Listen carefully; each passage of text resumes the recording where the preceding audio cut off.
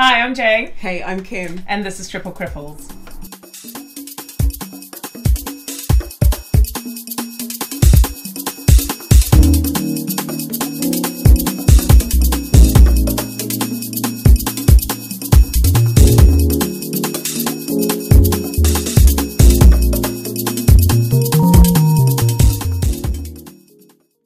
Not looking disabled enough. The other thing that we wanted to talk about is the fact that, you know, even with all of that, even with that, okay, people need to see you have a physical disability that affects your mental abilities, that affects your ability to look them in the eye, that affects your ability. Let- let me lower my gaze, Yeah, that means that you shouldn't be able to do anything at all, um, like Without like them helping around. you. Thank you. Yes. Um, on top of that, people are very uncomfortable if you, they see that you have a disability and you are presented in the way that Jay and I are.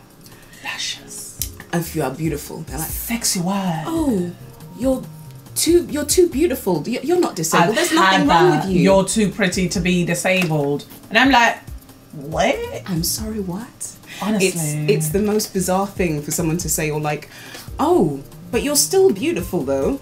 I know. And ah. you're like, at what point did I say I was ugly, fam?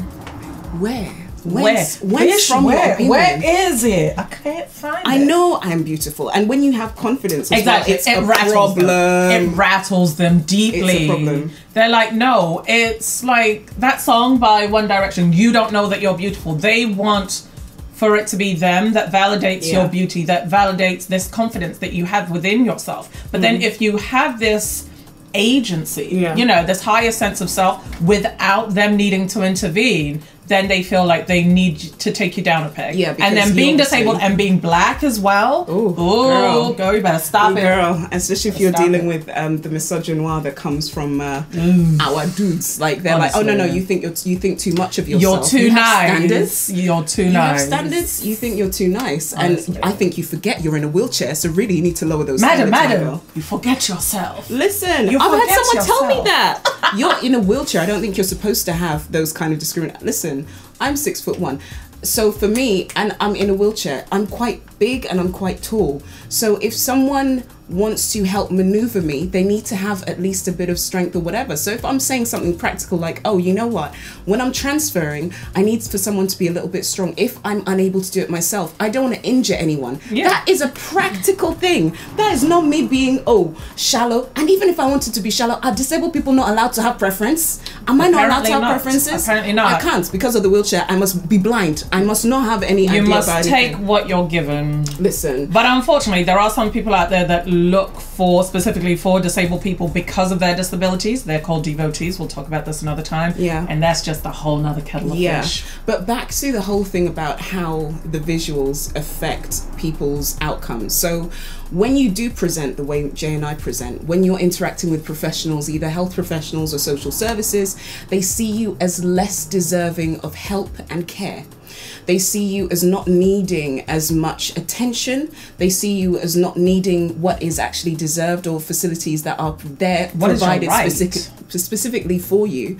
They don't. So in even when they're interacting with you, to, whether it's to do with housing, whether it's to do with um, physiotherapy, whether it's to do with um, appointments, whether it's to do with triage appointments, whatever it's to do with, automatically the minute you present the way we do, they're like, oh no, but you don't need as much help as all these other people who perhaps are not in terms of self care able to do certain things or perhaps don't dress a certain way, and so it negatively, Yeah. at least in my experience, has No, I agree with negatively affected me. Yeah. And so sometimes I have to make the conscious effort when I'm going out. Oh, make sure you don't, you know, Look too bubbly. Look too bubbly. Make sure you don't talk the way you talk. Make sure you don't do your hair and maybe wear a t-shirt that maybe you wore to bed that night because they're not going to take your needs seriously if you look like you. That's crazy. It is crazy. And then bringing it back to race, because everything comes back to that. Well, I mean, Black women are super strong, we can handle anything, blah, blah, blah, whatever. So then when you've got that plus a disability, it's as though, well, I'm more likely to help your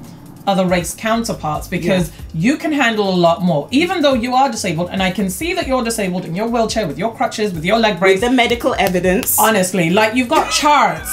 you've got charts, B. And they're like, oh, but you'll be okay. I'll see to them first because you'll be fine. Actually, Yeah. no. yeah. I really won't be. Just because I don't outwardly present as though I wasn't able to shower, you know, the night before this morning. I still do need of assistance and I am deserving of the same level of care that you would give other people. Thank you. Who might have the same condition and some symptoms that I have or Yeah. whatever, and the other things I'm talking about.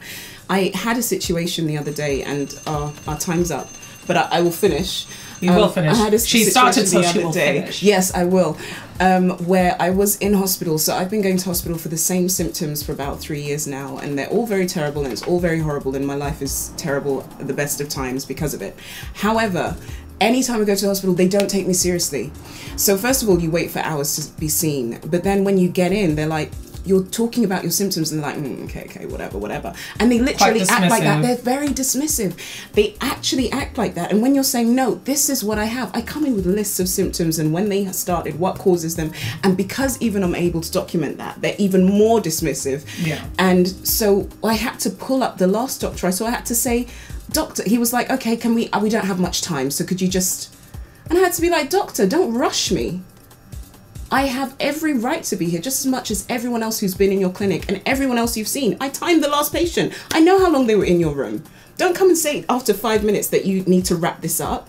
Well, because I'm speaking, and because of that, and having to pull him up, I actually got an appointment that was more useful than all the appointments I've had in the six years that I've been seen. Yeah. And it's because, like, he felt, you know, he was like, he, I pulled him up on something, on an innate bias that he hadn't even noticed himself mm. because he's so used to doing it. And black black people disproportionately are treated badly by the NHS Our pain isn't believed. our pain isn't believed, our symptoms aren't as serious, and all of that kind of stuff. But also, I'm a woman, you know, women, there's a lot of stuff to do with the way people consider that women are dramatic and all these kind of ridiculous ideas that people have. But then also, I'm disabled. I'm not supposed to be able to talk for myself. And if I am able to talk to, for myself, that means I'm not as deserving as others. And so I had to, you know, You got to nip it in the bud, but unfortunately, this is something we have to go through as well. Like you have to fight a lot more for things that people just get ordinarily. Like they wouldn't even need to ask for it. It would be provided because they can see in certain cases Yeah. that you do need it. So it's an issue, but these are the things you go through when you don't look disabled enough.